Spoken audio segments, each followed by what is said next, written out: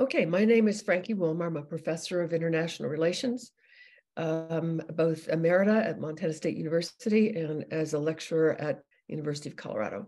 Um, I support the work of the IPC uh, because at this point we can't take anything off the table. All efforts to uh, engage in dialogue and to increase the strength and the breadth of the political will to support uh, solutions uh, has to be t- taken seriously.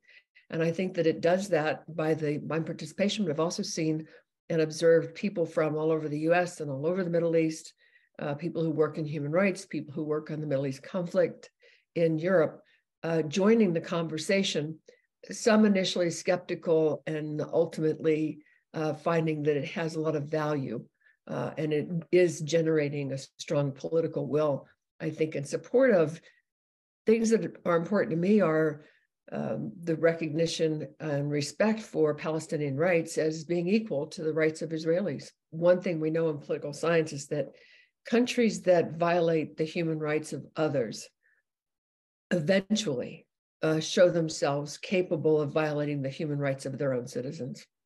Uh, and sometimes it's been ongoing and not recognized, and other times it develops over time. And I think um, we're seeing that happen in Israel. So you have 110, 120,000 people hitting the streets in Jerusalem and Tel Aviv. Uh, well, as you know, um, Josef, I had my concerns as a political scientist about whether it's really a confederation as we normally talk about them.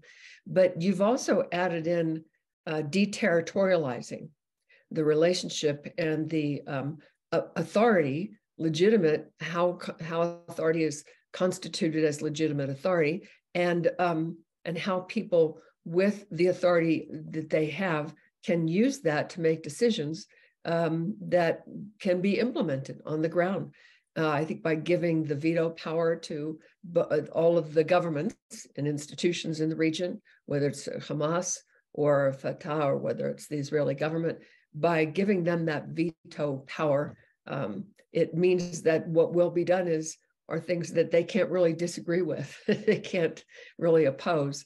Institutionally, I think it's a sound idea. It's a conversation that needs to keep going.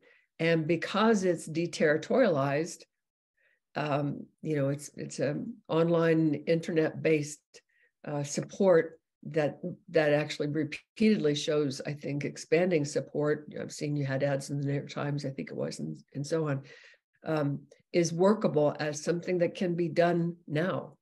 So that's why I support the IPC and its work.